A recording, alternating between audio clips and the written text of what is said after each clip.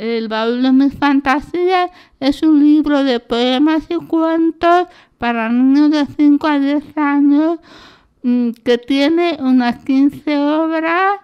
La mayoría son poemas y hay algunos cuentos.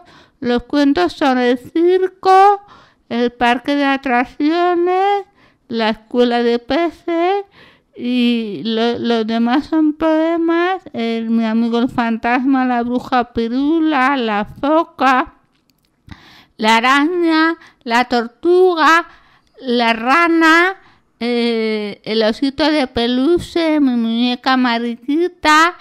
Y yo lo que hago es invitar a los niños a que se unan conmigo a mi mundo de fantasías y que lo disfruten en el colegio, en el parque, con sus amigos, con su familia, cuando se van a acostar por las noches, que vuelen hacia las fantasías.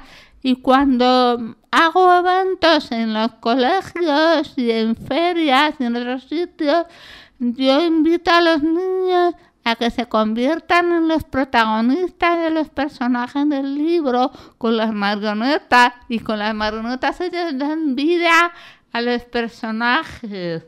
Y estaba pensando el año que viene trabajar la tercera edición y sacar adelante un libro que se llama Recetas que curan.